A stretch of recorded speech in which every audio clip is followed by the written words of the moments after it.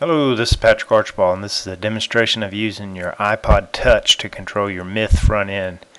Uh, there's an application called MyMote. You install it on your iPod Touch, uh, do some configuration, and you're good to go. So here's a closer look of the MyMote application on your iPod Touch. And I'm just going to go through the Myth uh, menu system here by pressing the down arrow on the uh, iPod Touch.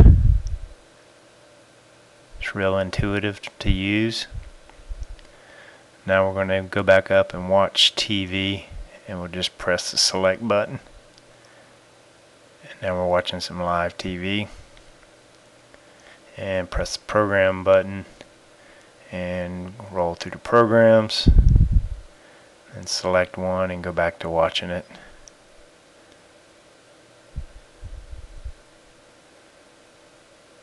And hit the program and you can go to the menu and do some different things there.